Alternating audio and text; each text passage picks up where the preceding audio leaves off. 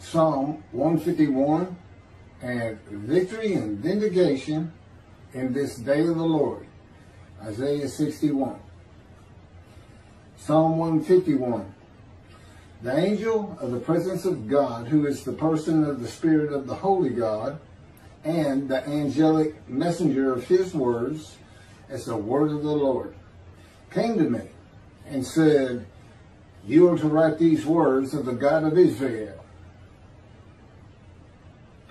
I have come to the earth to dwell with my anointed one, Keith Ellis McCarty, as I once came to dwell among the tents of the Israelites, and who writes and speaks my words exactly as I speak them to him, as my servant Moses did.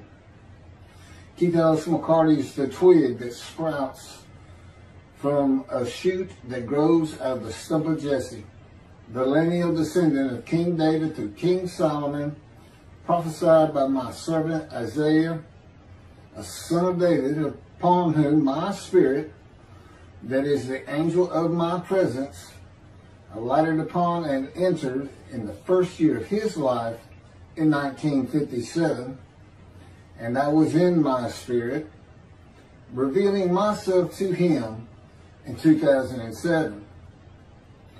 Keith Ellis McCarty is Elijah, prophesied by my servant Malachi to return in the day of the Lord to clear the way before me, to deliver the new covenant with my forgiveness of the sins of the Jewish people I declared in the book of Jeremiah, and to recounsel the members of the families of the Jewish people, each to the other being mindful of the teachings and laws I gave Moses at Horeb bringing the Jewish families to or back to the observance of Judaism and righteousness and in right standing with me. Keith Ellis McCarty is the prophet like Moses, prophesied by me and written by my servant Moses, whom I speak to face to face and as one friend to another, that I converse with whenever I so wish, and who converses with me whenever he so wishes. And who writes my words exactly as I tell him to. Ellis McCarty is my righteous servant, prophesied by my servant Isaiah, that makes the many righteous, the man of suffering, familiar with disease, that I chose to crush with disease, who made his soul and himself an offering for the guilt of the Jewish people in a test of devotion. The man who I have wounded, chastised, bruised, crushed, maltreated, and punished in the world and by my hand all of his life. The man that has been exposed to death four times, by my power and survived by my power. The man I have given long life to in order that he accomplishes his many tasks. And the man who is my visible representation in the day of the Lord, speaking and writing my words. Keith Ellis McCarty is the only Gentile who I have written into the scroll of remembrance. I am preparing for this day, the day of the Lord. For the heaven I am creating for the Jewish people. He passed my test of devotion. He agreed to go through my fire of refinement to prepare him as a prophet suitable for my purposes and for all the suffering he has endured in life for the Jewish people and myself. Keith Ellis McCarty is a host of the Lord's host, which means my Holy Spirit alighted upon him, entered him, and my presence is in my Holy Spirit.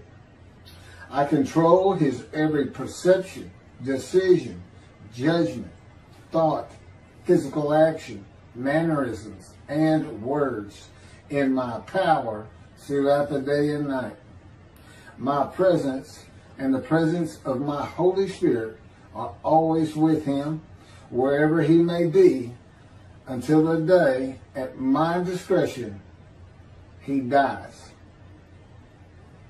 And Keith Ellis McCarty is a priest forever, a rightful king by my decree, after the manner of Melchizedek and my son David. My hand shall be constantly with him, and my arm shall strengthen him. No enemy shall oppress him, and no vile man will afflict him. My faithfulness and steadfast love will and shall be with him. I am God. I created all things. I divided light and I divided water. I created and formed Keith Ellis McCarty for my purposes, just as I formed and created Israel for my purposes. And this is how scripture is written. The word of the Lord came to me and said, write this down. Isaiah 61 victory and vindication. Verse 1 The Spirit of the Lord God is upon me, because the Lord has anointed me. He has sent me as a herald of joy to the humble, to bind up the wounded of heart, to proclaim release to the captives, liberation to the imprisoned, to proclaim, this is verse 2, to proclaim a year of the Lord's favor and a day of vindication by our God, to comfort all who mourn. Regarding this phrase, the Spirit of the Lord God is upon me because the Lord has anointed me, that is a reference to Isaiah chapter 11, verses, uh, I think it's verse 2, but verses 1 and 2 and says that the Spirit of God alighting upon a man to perform tasks is an anointment by God. The speaker cannot be Jesus, though he said he was the fulfillment of it. This is from John. No, it's Luke. Luke the historian chapter 4, verses 16 through 21.